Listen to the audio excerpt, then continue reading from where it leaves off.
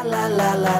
I see the new evil. 적대적인 고난과 슬픔. 넌더 빙지나 시켜. That's my novice. Is my novice. This is beautiful, dude.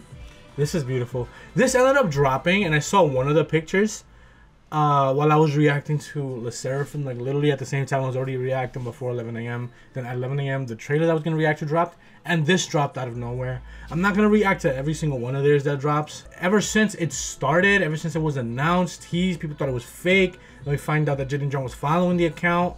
Um, the essential re-debut, potential rebranding of LOONA, Odd Circle. It's just Heejin as well, because Heejin's in this. It's just, it's amazing, bro. I have like, it sent chills. Like, I, I literally spoke about it in the beginning of the Le Sserafim video once I got into the trailer, because that's what it did, but I wanted to finish that trailer first. Now coming back into this and actually seeing all the pictures, this is amazing. This is just amazing that the way it was teased, the way it was like described to us, a story about the amazing strategies and plans of the girls to get to the moon. Heejin, Kimlip, JinSoul, and Choerry will start this story. ARTMS is not the name of a new group. I'm so happy that they got out of the situation, most of them, and hopefully for the rest of them it happens as well.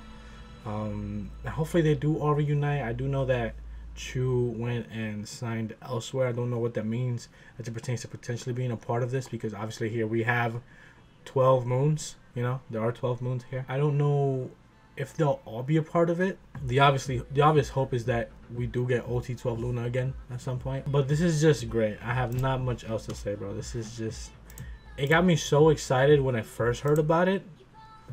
Literal goosebumps. And y'all know me, bro. I love all of them. Odd Circle being my favorite subunit musically.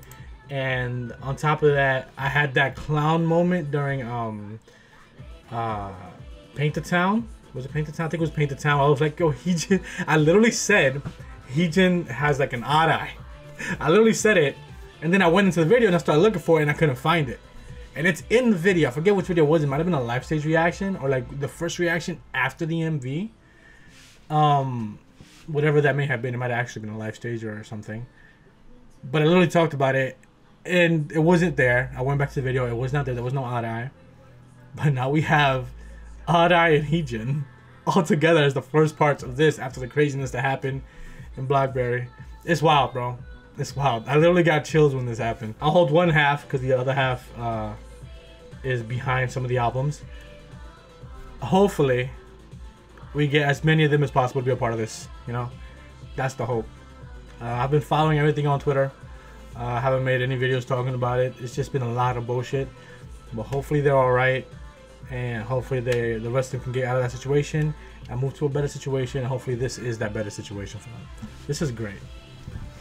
And she looks absolutely beautiful, bro. We've been new though.